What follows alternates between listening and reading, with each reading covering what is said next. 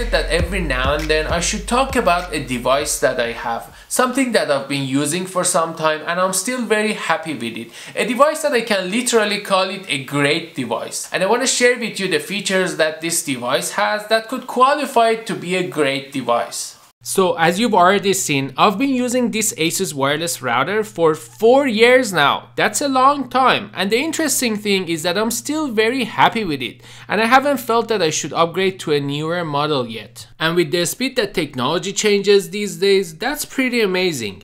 So here I tried to summarize the reasons that I think could contribute in making this device great.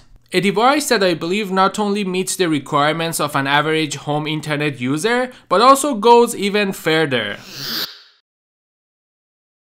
When I replaced my Linksys E1550 with this Asus wireless router, I could immediately see a major improvement in the range.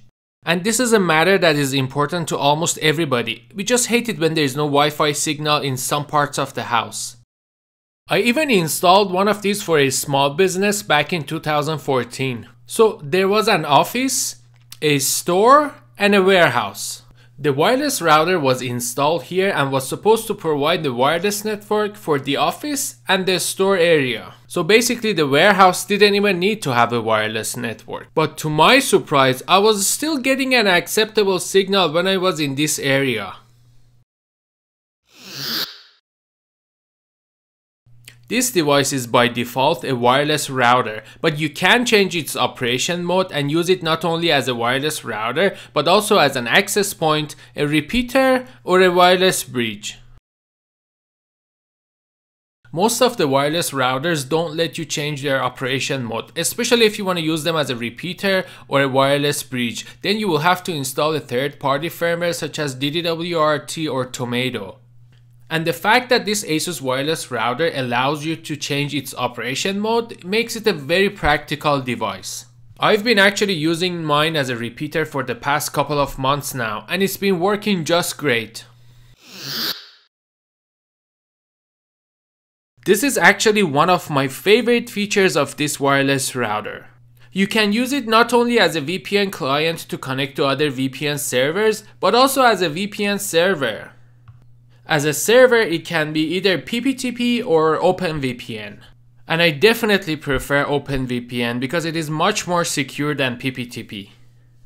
You can run an OpenVPN server on third-party firmwares such as DDWRT and Tomato, but it is not gonna be as straightforward as here. Here it only takes you a couple of minutes to create your own OpenVPN server. The wireless router has two USB ports, one USB 2 and one USB 3. These ports can be used in different ways. For example, you can connect a hard disk drive and share your files through the internet, or use it as a media server. You can also connect a USB printer and share the printer on your network. You can even connect a 3G or 4G wireless dongle and use it as a USB modem. You can set it up as a time machine for Mac OS devices, or use it as a download master to download directly to a USB drive. The firmware is called Asus WRT and is basically the reason to have all these great features available.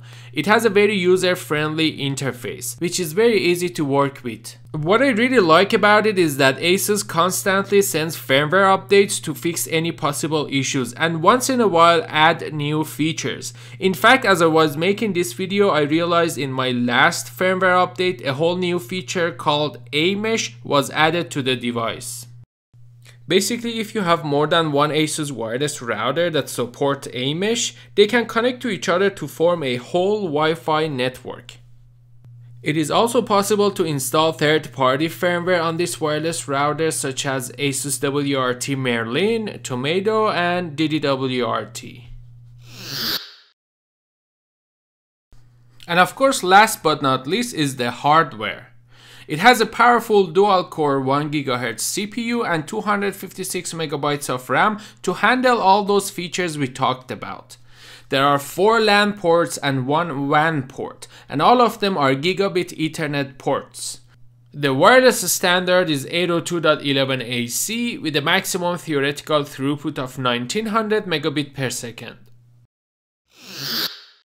So guys, this was my experience with this device and I kind of felt like that I should talk about it and hope to see more great devices like this in the future. I can honestly feel whoever built this device did really care about the customers. They built a powerful device with many great and practical features and this is what customers are looking for. So now the question is what is your idea? If you own one of these, did you have the same experience or not? Or maybe you had a similar experience with another device. Let me know what you think in the comment section right down below. And don't forget to like this video and subscribe to the channel for the upcoming videos. Thank you so much for watching and I see you next time.